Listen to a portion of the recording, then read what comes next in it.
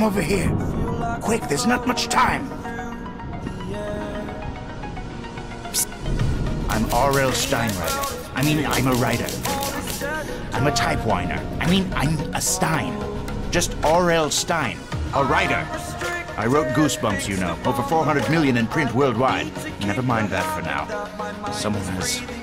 Something has... Writer's block. So horrible. I need ink. Look under me.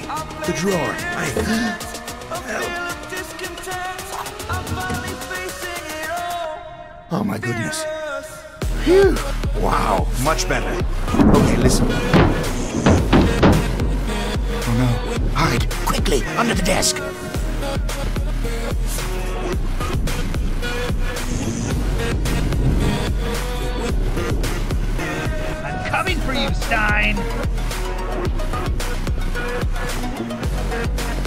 Ah, the books. The goosebumps. Just one won't do. This one's always interesting. Burning the bridge that keeps us. I'm here and I'm feeling, feeling. Slappy? Released? He must be stopped. I. We. You have got to stop him! First, I need you to find a book. It's called Night of the Living Dummy. Okay, now all you have to do is. Something's wrong. The book is missing some pages. Maybe they're not there by the fireplace. You will need two more pages. They're somewhere inside this house. You need a key to get out of the study. It's behind the blue books by the door. Unless you can see in the dark, I suggest turning on the lights. The light switch is next to the door. Great. Now just gather up the rest of the pages. If you see or hear anything strange, hide.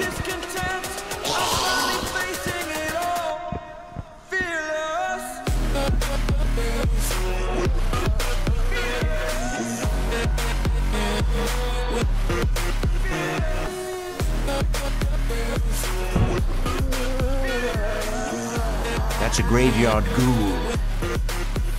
Slow, not too smart.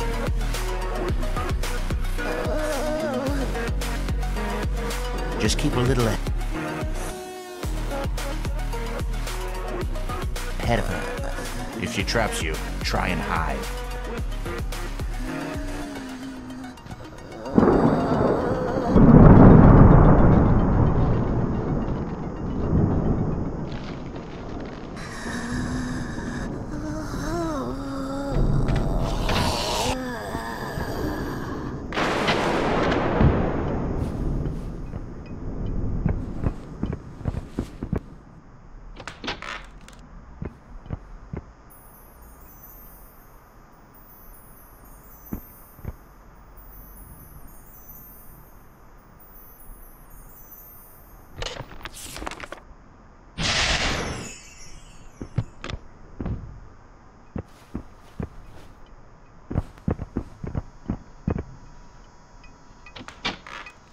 That lawn gnome is stealing a page. Don't just stand there, smash it!